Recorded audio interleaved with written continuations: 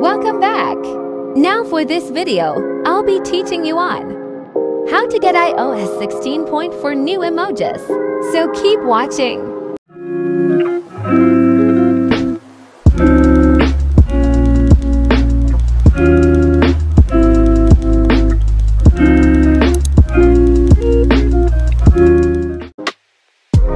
Now let's open files first.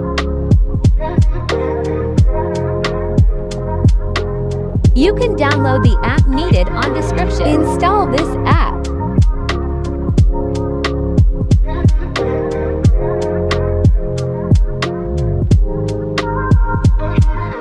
Now go to settings. Go to additional settings. Select language and region. Region to Myanmar. This one should pop up already. Turn it on.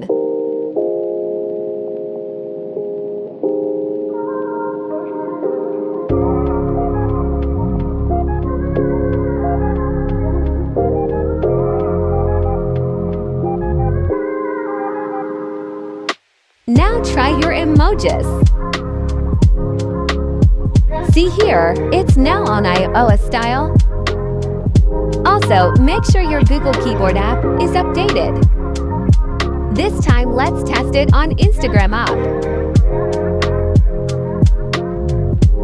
Let's try to create a story.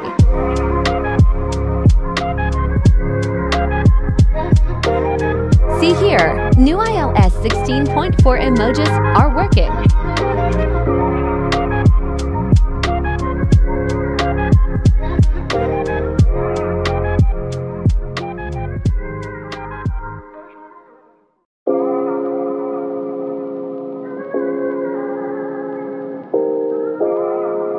Totally working.